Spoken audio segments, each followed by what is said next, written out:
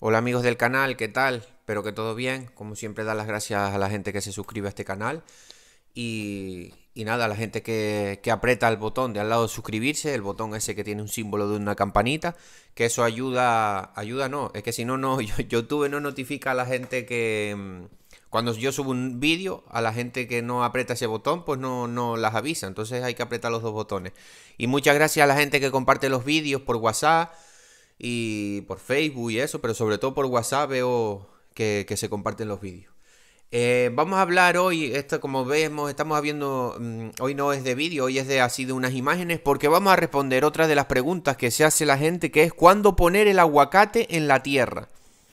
Es una, una pregunta que se hace la gente, que es ¿cuándo poner el aguacate en la tierra?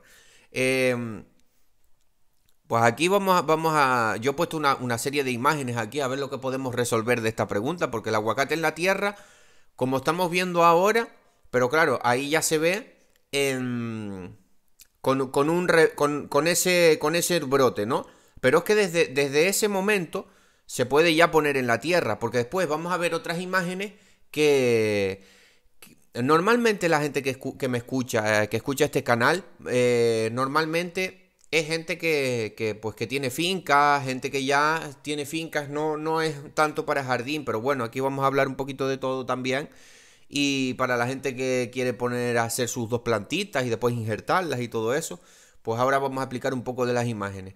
Eh, normalmente la gente de finca ya va a un vivero y compra, mm, lo que pasa es que no conseguí imagen de, de, eso, pero bueno, todo el mundo sabe que va a un vivero y compra una planta de aguacate, suelen venir en unas bolsas de plástico negras con una edad aproximada de un año, aproximadamente, em, eh, y tiene esa planta más o menos eso, una edad aproximadamente de un año, y, lo que hicieron en el vivero fue el proceso este, o sea, cogieron la semilla, no sirve semilla de cualquier aguacate, ahí estamos viendo otras imágenes, eh, decir que la gente que va a realizar el proceso este de aquí lo estamos viendo cómo se puede poner en agua y mirar lo que pasa ahí se ve con los palillitos eh, se ve bien.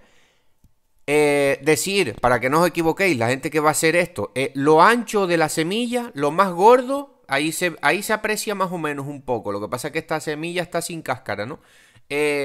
lo ancho de la, de la pepa del aguacate, la de la semilla, obviamente, lo ancho para abajo, lo ancho para la tierra. Si la sembráis en tierra, sembrad la mitad nada más. No, no hace falta enterrar toda la semilla.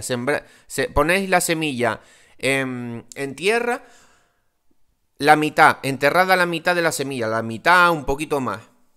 Para ver también cómo le sale el brote. No, hace, no, no es necesario enterrar toda la semilla, ¿vale? Y, y, nada, tener la tierra, pues, pues eso, que no se seque mucho y siempre mantenerle un poco de humedad. Y, como, y, y después está la otra técnica esta de los palillos, de sembrar una pepa de aguacate eh, con los palillos, ahí lo estamos viendo. Ahí se ve mejor cómo es lo, eh, lo ancho de la, de la, pipa del aguacate. La, parte más ancha para abajo, para la tierra o para el agua. Y la parte más puntiaguda eh, es por donde va a salir el brote. ¿Vale? Ahí yo creo que más o menos en las imágenes se, se aprecia, que es lo que yo quería, ¿no? Pero eso, que normalmente la gente que escucha este canal, pues mm, ya va a ir a comprar una planta de vivero. Pero también hay fincas que tienen sus propios eh, árboles de aguacate para hacer patrones. Tienen sus plantas de antillano, de, se utiliza mucho antillano por aquí en Canarias y tal.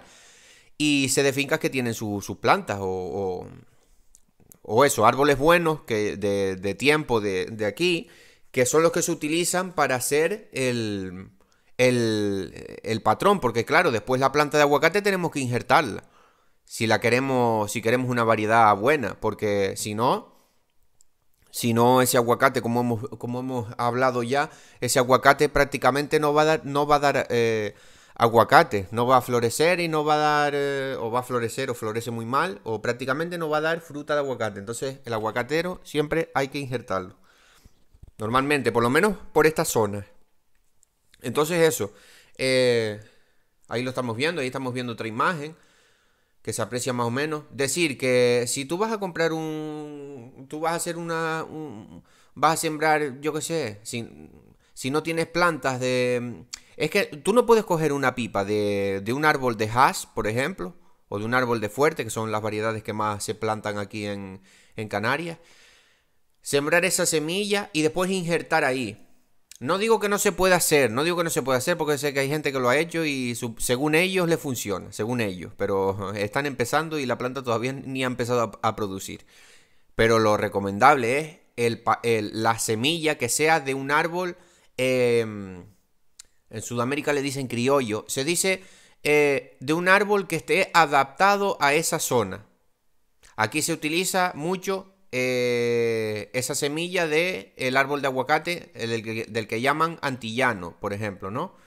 Después, eh, tres, tres, tres, perdón, tres patrones eh, más utilizados en el mundo son el, el, antillano, el guatemalteco y el, y el patrón mexicano o algo así, ¿no? Pero bueno, eso ya estamos hablando de cosas mayores, así de todo el mundo y tal. Aquí lo que, lo que, el más que se utiliza es el antillano y patrón Orotava, que también fue desarrollado un poco, creo, pues Orotava es un, un municipio o un pueblo de Tenerife, de aquí de, de, la isla de, de la isla Canaria, una isla, y eh, ahí se desarrollaron ese árbol y va bastante bien también, es un buen patrón y, y pegan bastante bien los injertos y todo eso.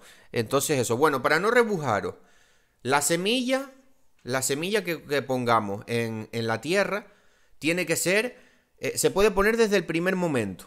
Desde el primer momento podemos poner esa semilla en agua, como vimos en la foto, con los palillos, lo más gordo para abajo y lo más fino para arriba, o en la tierra directamente, siempre manteniendo una humedad. Tierra que sea sueltita, mezclada con un poco de turba, de compost o algo así, ¿no? Humus de lombriz, algo así, ¿no? Ahí podíamos poner nuestra semilla em, así, para, con, lo, gordito para abajo. Normalmente, lo que estábamos hablando, la gente que, escucha este canal y tal, no va a estar haciendo estas cosas, pero siempre puede venir alguien de, jardinería que le interese. Normalmente, yo por ejemplo, yo no estoy haciendo esto porque yo eh, no tengo árboles, tendría que moverme por ahí, preguntar, comprar semillas, esperar un año, entonces a mí no me interesa. Me interesa al igual más si tengo el dinero, eh, comprar las plantas, ir a un vivero y comprar las plantas y ya cogerlas y sembrarlas, sembrarlas en, donde las vaya a poner, ¿no?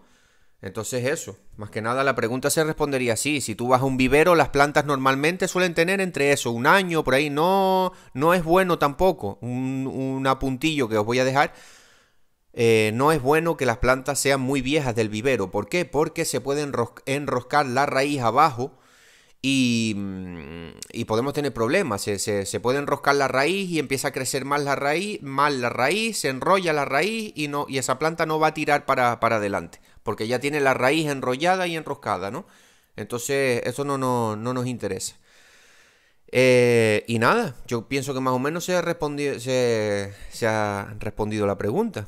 Decir que eso, que de vivero suelen tener más o menos un año y después de semilla se puede poner desde el primer momento en tierra, sin problema, con lo gordito para abajo, lo más fino para arriba, que es donde va a salir el brote. Y, y después, eh, de cuando sale la raicilla, si, la, si lo ponéis en agua con, el, con esto de los palillos, pues pasar la tierra rápidamente. Decir también que, bueno, yo creo que he respondido la pregunta. Decir también que para asesorías o consultas así personalizadas hay un número de WhatsApp en la descripción del vídeo. Y también tengo un curso de deficiencias nutricionales que es para ver eh, cuando eh, por la hoja, por la fruta, cuando el, árbol de aguacate em, le falta potasio, le falta nitrógeno, le falta magnesio, le falta hierro, todas estas cosas, si sabemos un poquito, podemos diferenciarlas por la hoja. Bueno, espero que os haya gustado este vídeo y un saludo.